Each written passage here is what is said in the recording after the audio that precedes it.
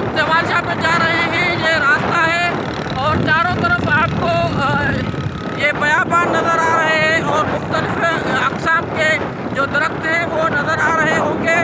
और ये सामने एक आपको डंड नज़र आ रही है जो कि पानी से भरी हुई है और ये बहुत ही पुरखतर रास्ता है जो कि हम अबूर करके वहाँ पर जा रहे हैं आपको नज़र आ रहा होगा कि अ, सामने बहुत ही एक बड़ा अ, वारी का दड़ा है और ये देखें आप मुख्तलिफ़ अकसाम के ये दरख्त आपको नज़र आ रहे होंगे और ये आगे से हमारे भी एक गाड़ी चल रही है और इस नज़र आ- आने वाली अ, डंड को हम खुद कहते हैं और जो सामने नज़र आ रही है बड़ा एक दड़ा वारी का और उसके दरमियान में जो एक बड़ी सिम नज़र आ रही है, उसको हम नंडी सिम कहते हैं और नंडी सिम की खूबी ये है कि वहाँ पर मछली बहुत होती है और मछली लोग मारते हैं, व्यापार करते हैं, पैसे कमाते हैं। देखें, अभी हम बहुत ही ख़तरनाक रास्ते से गुजर रहे हैं और तमाम जल्द हम आपको ले जा रहे हैं जमाल शाह के पास। और नाजरीन, आप देख रहे हैं कि ये दो हमारे साथ मोटरसाइकिल हैं और ये कुछ दोस्त भी हैं जो कि हम जा रहे हैं जमाल शाह के पास ज़्यारत करने और ये नंडी सिम है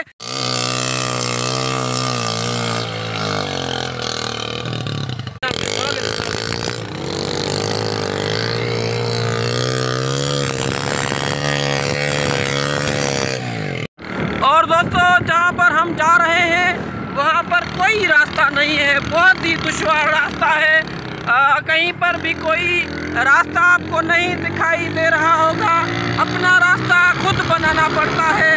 और ये मोटरसाइकिल की आवाज़ें आप सुन रहे होंगे। और ये आप देखें मोबाइल की स्क्रीन में चारों तरफ़ सारा और बयाबान नज़र आ रहा है आपको। ये हमारी गाड़ी है, पीछे एक और भी गाड़ी है जो अभी तक आपको नज़र आ नहीं आ रही। और देखें, ये कहीं पर भी कोई भी आबादी नज़र नहीं आ रही। और ये कुछ दरख्त हैं, उनके आगे एक पानी का तालाब है जिसे हम तालाब का तालाब कह सकते हैं या डंड कह सकते हैं। एक कमरा आपको नज़र आ रहा होगा ये ये वाला कमरा। ये मतलब आसार हैं कि हम तमाम जल्द वहाँ पर पहुँचने वाले हैं जहाँ पर जा रहे हैं। हम आपको बताते चलें कि हम जमाल शाह के बहुत ही बहुत ही नज़दीक आ, आ चुके हैं। आपको मोबाइल की स्क्रीन में दरख्तों के पीछे जमाल शाह नज़र आ रहा है। ये देखें ग्रीन गुंबद वाला ये बुज़ुर्ग है और ये जमाल शाह है और ये हमारे साथ आने वाले जो लड़के हैं वो हमारे पहले से पहुँच चुके हैं। तो हम अभी आपको ये जमाल शाह और वहाँ के आसपास का नज़ारा कर रहे हैं। ये नीम का दरख्त है और उसके साथ ये देखें, ये दरवाज़ा अभी बंद पड़ा है। ये हकीकत में जंगल में मंगल है कि चारों तरफ़ कोई आबादी नहीं, लेकिन यहाँ पर ये बुज़ुर्गों की करामत का एक कमाल है। देखें, ये मस्जिद भी है। जो लोग आते होंगे वो ज़रूर नमाज़ भी पढ़ते होंगे। हम शॉर्टकट में आपको ये कुछ यहाँ के आसपास के मंजर दिखा रहे हैं और उसके बाद कुछ और भी मंजर दिखाएँगे। ये जहाँ पर बुज़ुर्ग का कुआँ है जिसमें पानी है और जहाँ पर जो एनिमल होते हैं जो जानवर होते हैं वो भी पानी पीते हैं। यहाँ पाइप देख रहे हैं। उस पाइप से बहुत दूर से पानी आता है कुएँ में क्योंकि कुएँ में अपना पानी नहीं है। अगर अपना पानी होगा या हम पहले कुछ साल पहले आते थे तो जहाँ पर जो अपना पानी होता है वो बहुत ही आ, खारा होता है मतलब मीठा नहीं होता, पीने के लायक नहीं होता।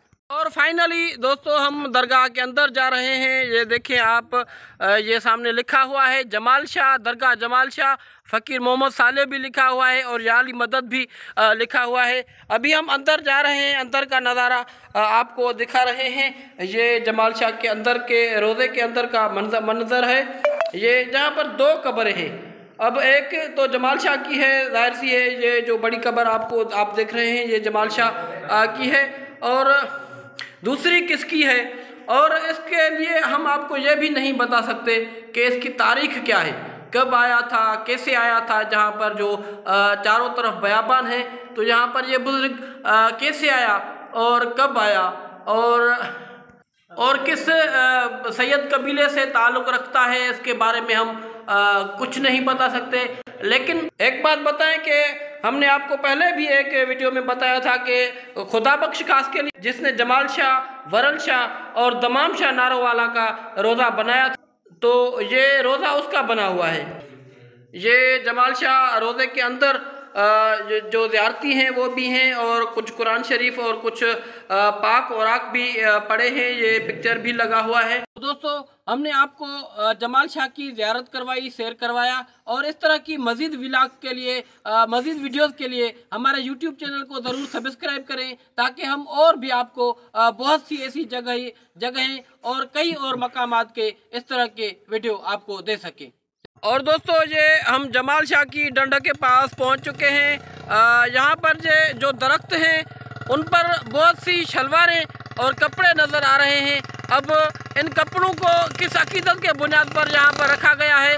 आ, उसके लिए तो हम कुछ नहीं कह सकते लेकिन हाँ ये ज़रूर है कि इस तरह की चीज़ भी नज़र आ रही है और ये भी एक लोगों का अकीदा है कि जहाँ पर आते हैं और चड्डियाँ अपनी बनान और शलवारें जो बच्चों की हैं या बड़ों की हैं तो यहाँ पर उतार फेंक देते हैं और इस पानी से ख़ुद को नहाते हैं ताकि उनकी जो मन्नत भी, मन्नत होती है वो भी पूरी हो जाती है।